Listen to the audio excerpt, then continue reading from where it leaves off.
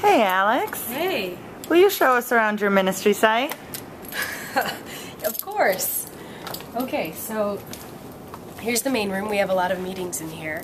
Uh, my desk is kind of messy right now. I'm sorry for that. Mine's over there.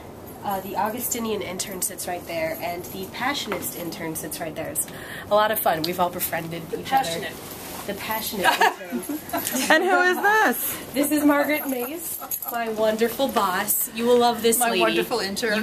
Wonderful. She lies. But I don't. anyway, come on this way. This is the main office. Margaret sits over there at the very back, uh, right behind Emeka, uh, who is also here, and Griselda's over here.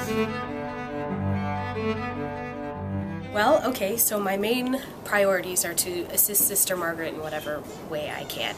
So that involves a lot of talking to um, her about her intended goals for the day. So I do research for her. So far, I've done research on the defense industry and military expenditure, mining issues, and how that relates to indigenous peoples, and free, prior, and informed consent when they're giving away land, for example.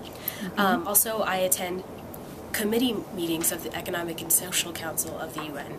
So, for example, today I went to a third committee meeting on the rights of indigenous peoples.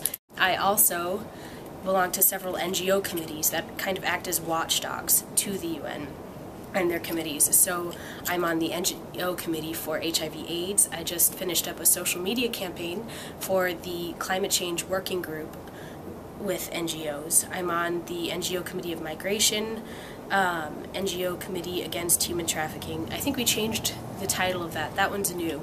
It's going to be pretty big, though, I think. And a couple others Financing for Development and. Yeah. Oh wow, just the opportunities you get here are amazing. I was standing two feet away from Ban Ki moon and it was incredible.